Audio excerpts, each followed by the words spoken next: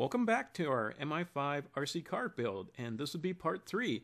And a lot has happened between part 2 and part 3.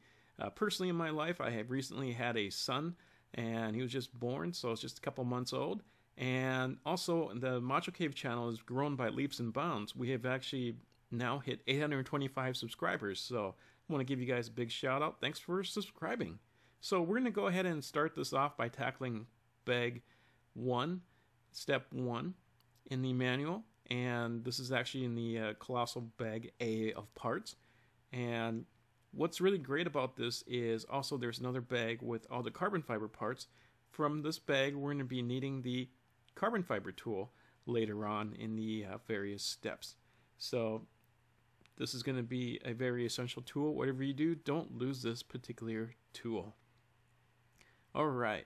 So what especially what I'm doing is I'm just putting in the uh, droop screws here.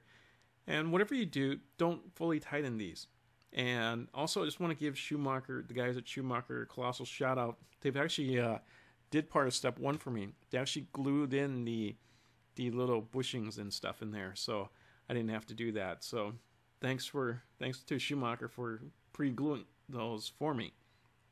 So essentially, what you do is you just take your little droop adjustment screws and you just put four of them in here.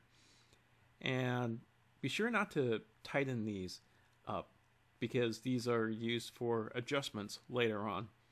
So whatever you do, do not fully tighten these uh, these particular four screws in here. And I'm just taking my time, just just uh, setting them in, and that should be all set. Um, the screw I'm using is the uh, two millimeter Schumacher screw, and it's uh, it's the one with the uh, dark green racing tip at the end, in case you're wondering what color the uh, the screw handle was.